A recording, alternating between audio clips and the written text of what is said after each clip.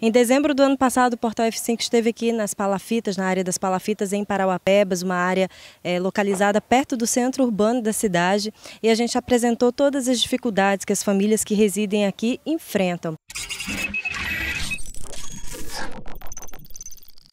Agora, recentemente, com a cheia do Rio Parauapebas, foi uma das áreas que mais foi afetada aqui na cidade. Muitas famílias que estão desmontando suas casas, levando o que restou depois da chuva, telha, madeira, para poder tentar aproveitar alguma coisa ainda em uma outra moradia. Identificamos as áreas, conversamos com os moradores, chamamos as secretarias parceiras, que é a SEAB, Gabinete, mais o PROSAP, que é o Projeto de Saneamento de Paruapebas, para que pudéssemos dar uma atenção especial àquelas famílias, porque parte das casas foram danificadas, e com isso estamos trabalhando junto com a SEAB e a SEMAS, também no sentido de retirá-los e encaminhar para o aluguel social.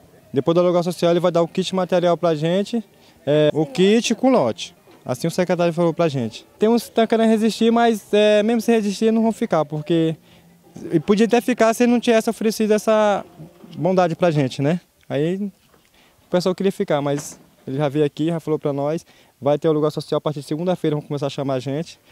Aí a gente já está adiantando logo. Nós estamos aqui dando o apoio aqui para os pessoal que, sabe como é? Precisa, né? E já está dando apoio nos carros para pegar o material do, do que a o pessoal aqui do Palafeira estão precisando. Muita casa desmanchada já.